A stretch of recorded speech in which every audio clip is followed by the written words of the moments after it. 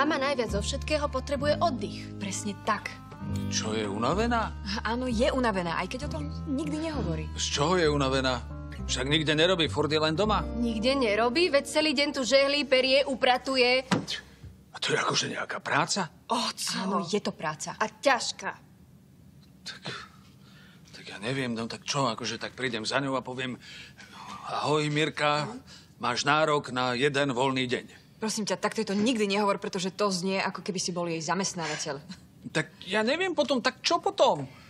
Tak pekne jej uvaríš kávičku, pozveš ju k stolu a ospravedlníš sa. Ale však už som sa Tak ospravedlnil. sa jej ospravedlníš ešte raz.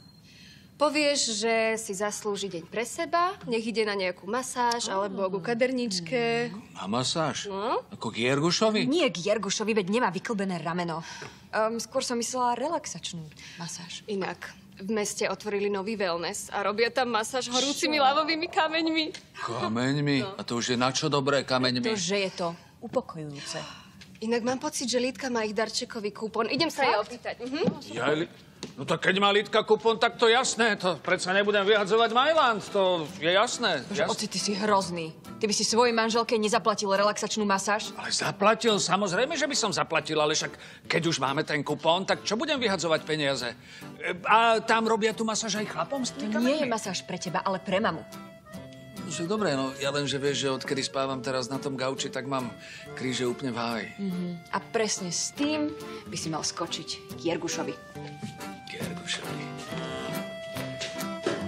Super romantický deň.